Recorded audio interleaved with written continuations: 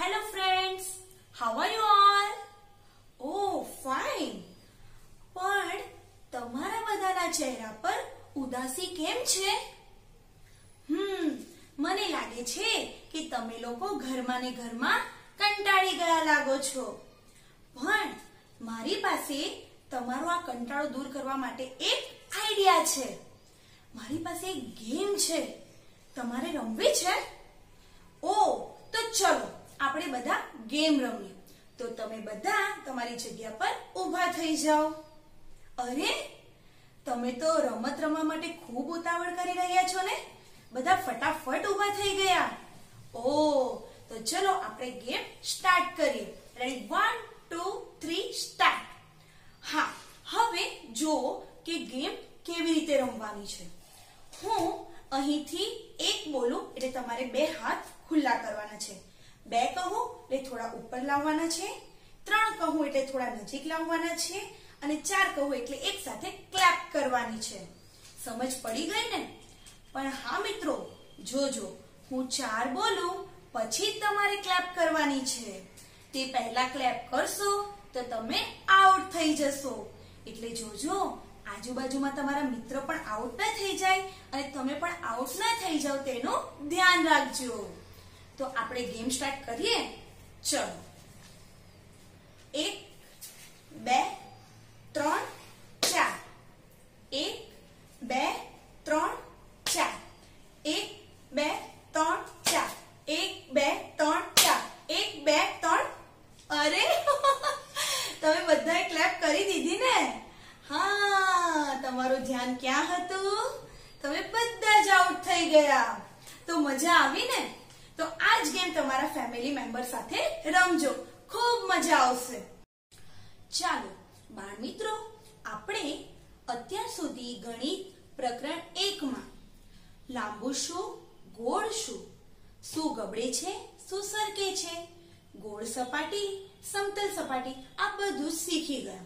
તો હવે આપણે થોડું આગળ વધીએ. મિત્રો, કહો જોઈએ, તમને ટેબલ પર શું દેખાય છે? હા, બાકસના ખોખા. બરાબર? તો હવે આ બાકસના ખોખાની મદદથી આપણે ટાવર બનાવીશું. એક ખોખા પર બીજું ખોખું, બીજા ખોખા પર ત્રીજું ખોખું અને ત્રીજા ખોખા પર ચોથું ખોખું. આપણે ચાર ખોખાનો ટાવર બનાવ્યો. હવે આ ચાર ખોખાની મદદથી આપણે ઊભો ટાવર બનાવીશું.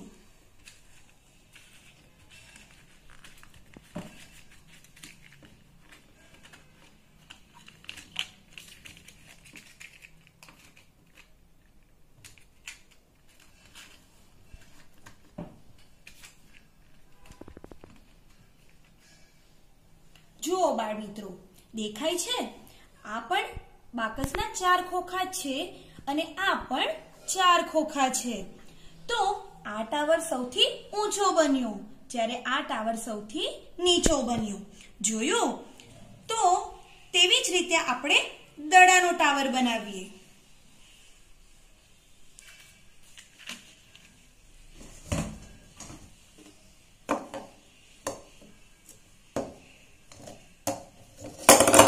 અરે, આ શું થયું? દડાનો ટાવર બનાવી શકાય? ના, ન બનાવી શકાય. કેમ કે દડાની સપાટી વક્ર છે, એટલે કે ગોળ સપાટી છે. જ્યારે બાકસના ખોખાની સપાટી સમતલ છે, સીધી સપાટી છે, એટલે આપણે બાકસના ખોખાનો ટાવર સરળતાથી બનાવી શકીએ છીએ. જ્યારે દડાનો ટાવર બનાવી શકતા નથી. જોયું બાળકો? સમતલ સપાટી કોને કહેવાય અને વક્ર સપાટી કોને કહેવાય? તો આવી રમત તમે તમારા ઘરે પણ રમજો. રમશો ને? એટલે કે જે વસ્તુની સપાટી સપાટ હોય અને પાયો પળો હોય, તે વસ્તુ એકબીજા ઉપર ગોઠવીને આપણે ટાવર બનાવી શકીએ છીએ. પરંતુ જે વસ્તુની સપાટી વક્ર, એટલે કે ગોળ સપાટી હોય, તેનો ટાવર બનાવી શકતા નથી. તો તમારે આવા ઘણા બધા, જેમ કે ચપ્પલના બોક્સ હોય, બાકસના બોક્સ હોય, બરાબર છે? આવા બધી અલગ અલગ વસ્તુઓથી તમારે ટાવર બનાવવાનો છે. તો બાળકો, આપણે અહીં એક સિક્કાની રમત રમીશું. બરાબર? તમે જુઓ છો કે ટેબલ પર સિક્કા પડ્યા છે. હવે આપણે સિક્કાને ગોળ ફેરવવાનું છે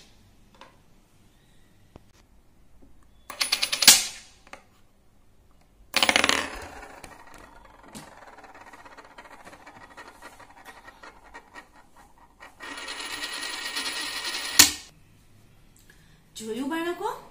સિક્કો કેવી રીતે ફરતો હતો? તો સિક્કો દડા જેવો દેખાય છે? હા, બરાબર ને? હવે આ જ સિક્કાને આપણે ઊભા રાખવાનો પ્રયત્ન કરીશું. બાળકો, સિક્કાને આપણે આ રીતે ઊભો રાખીશું.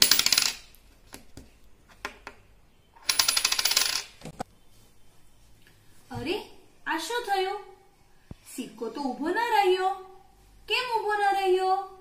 કોઈ કહેશે વિચારો જોઈએ બોલો બોલો હા કારણ કે સિક્કાની સપાટી કેવી છે ગોળ છે બરાબર હવે આ સિક્કાને આપણે ગબડાવવાનો છે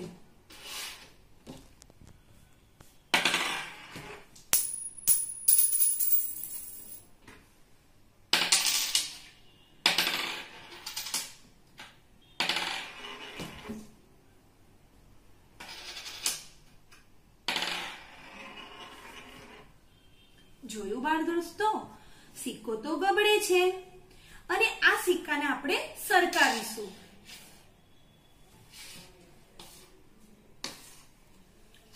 આ સિક્કો સરકે પણ છે. બરાબર? તો હવે તમારે ઘરે આવી જ રીતે સિક્કાને ગબડાવવાનો છે અને સરકાવવાનો છે. એવી રમત રમજો. તો બાળ મિત્રો બાકસના ખોખાની રમત અને સિક્કાની રમત રમવાની મજા આવી ને, તો આ જ રમત તમારે ઘરે પણ રમવાની છે. આવજો. Bye take care